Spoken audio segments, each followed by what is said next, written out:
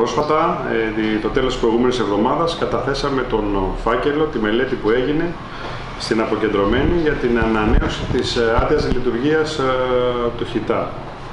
Οι άδειες λειτουργίας σε κάποιες περιπτώσεις για τους χώρους υγειονομικής ταφής δεν είναι μόνιμες και πρέπει να ελέγχονται αναταχτά χρονικά διαστήματα. Στην προκειμένη περίπτωση ήταν γύρω στα τρία χρόνια. Ε, οπότε πρέπει να τηρούμε κάποιες προδιαγραφές, ξαναγίνεται κάποιο είδους έλεγχος από την, ε, το τμήμα περιβάλλοντος της περιφέρειας και από το υγειονομείο για να δουν ότι οι προδιαγραφές τηρούνται και γίνεται μια ανανέωση της έδρας λειτουργίας. Η ανανέωση για πόσο γίνεται τώρα; Ε, για, άλλο τόσο, για άλλο τόσο διάστημα, ε, τρία χρόνια. Τρία χρόνια, ναι. Πώς είναι όμως η ζωή του χιτά; Η ζωή του Χιτά συνολικά η μελέτη η αρχική προέβλεπε ότι θα ήταν γύρω στα 20 χρόνια. Η αλήθεια είναι ότι τα απορρίμματα τα οποία εισέρχονται ήταν παραπάνω εξαιτίας του γεγονότος ότι απεντάχθηκε το έργο της ε, βόρειας χείου του Χιτά, οπότε ε, κατέφθαναν μεγαλύτερες ποσότητες σκουπιών, οπότε ε, αυτό το μειώθηκε γύρω στα 3 με 4 χρόνια.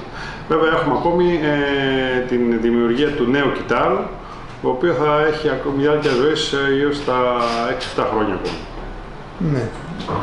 Γι' αυτό ε, και σαν ε, Δημοτική Αρχή ε, προβλέψαμε ότι ίσως η, η καύση είναι, ένα,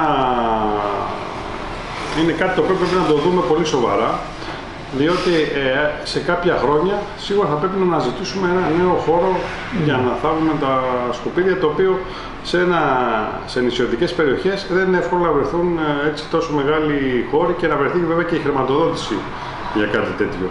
Και φυσικά κάπου στα βόρεια το άλλο, γιατί ε, η μεταφορά... Ναι, ναι, ε, από ό,τι έχω καταλάβει δηλαδή και ο τρόπος που, που επιλέχθηκε αυτός ο χώρος είναι ε, ανθρωποκεντρικά, δηλαδή που βρίσκεται το, το μεγαλύτερο μέρος του, του πληθυσμού.